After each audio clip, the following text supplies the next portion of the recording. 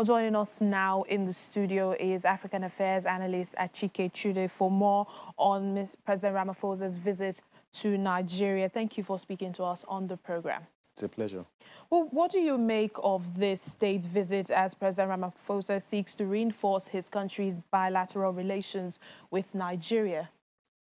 Well, I think uh, the um, strength of his uh, delegation, the size of his delegation, will give you an idea of uh, the importance that is attached to this uh, visit. Of course, this is his first uh, visit to Nigeria as um, president of South Africa.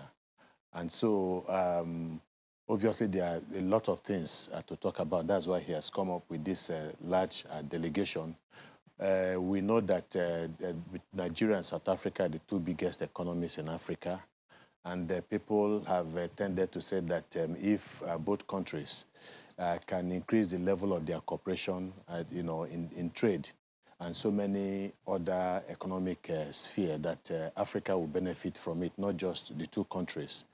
And um, uh, well, uh, both of them account for about one third of the total volume of business, you know, that is being done in Africa. So that makes this visit exceedingly uh, very, very important. And uh, they will be discussing uh, some of uh, the challenges. Of course, they have all manners of uh, challenges, uh, you know, um, between both countries.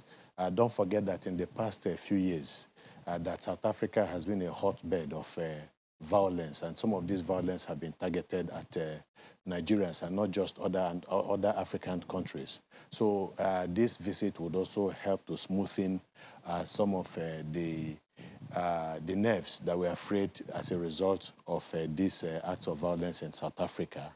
Uh, so the South African president, I think I would expect uh, that he would give assurances to the president and also assure the president that so much has been done to protect the interest of Nigerians in South Africa. Well, you made mention about, you know, the two countries being the two biggest economies on the continent, and Mr. President's visit is coinciding with the 10th session of the Nigeria-South Africa Binational Commission. What does this say, you know, of the trade and investment between the two countries? Well, they'll be looking at it. Obviously, the uh, trade and investments have been skewed heavily in favor of uh, South, Africa, South Africa against uh, Nigeria. Uh, if you look at the quantum of investment by South Africa in this country, they have over, over 120 uh, strong firms, uh, you know, companies operating in Nigeria. Uh, you're, you're, talking about, I mean, there's so many of them. And then why you have very few in uh, South Africa, I want to believe that the Nigerian government will want to address some of uh, these issues. Um, and then again, the issue of visa uh, has been a problem. Getting visa to South Africa has been a problem for Nigeria. I want, I believe that that is also going to be addressed. And uh, so many, I mean, other other issues. Uh, Nigerian businesses, uh, there have been uh, all kinds of restrictions against Nigerian businesses operating freely in South Africa, unlike what you have uh, in Nigeria.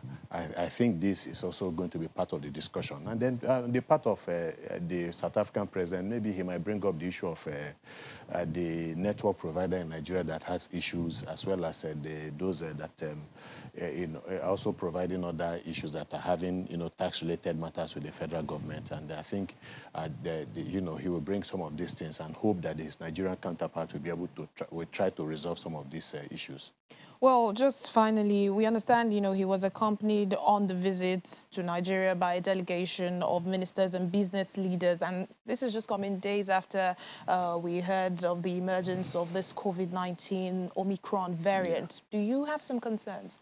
Well, yeah, I, I think the South African uh, uh, government uh, would have uh, very serious concerns because he knows the implication of, of uh, that for South Africa. And he has said one or two things about that. the need he has described uh, the imposition of uh, of uh, travel bans against South Africans as uh, discriminatory. He knows the implication of that even in Nigeria. Uh, Europe is shutting down, some countries in Europe are shutting their borders to South Africa.